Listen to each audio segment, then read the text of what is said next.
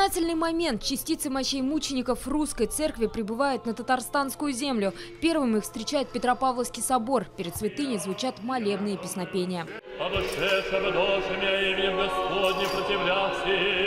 54 святых, 54 истории о силе духа, которой ничто не смогло сломить. С приходом советской власти в 17 году приходит и новая доктрина – гонение на русскую православную церковь, вера вне закона. Святитель Тихон, который в те годы являлся патриархом московским и всей Руси, подвергался уголовным преследованиям. Великая княгиня Елизавета Федоровна, основательница обители милосердия, сброшена большевиками в шахту. 80-е годы прошлого века они все были канонизированы. Вера, она вот это вот, как и Бог, не бывает порога. Мы сегодня не только пришли, мы приехали из Липецка. Ехали целую ночь и хотели почтить память мучеников российских.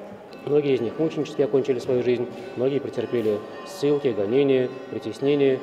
Но сегодня церковь прославила их, прославила, значит, сочла возможным поставить пример для подражания.